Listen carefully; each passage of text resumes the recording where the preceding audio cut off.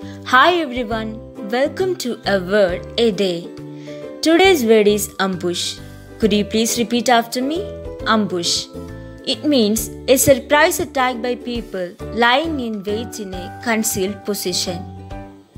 Or make a surprise attack on someone from a concealed position.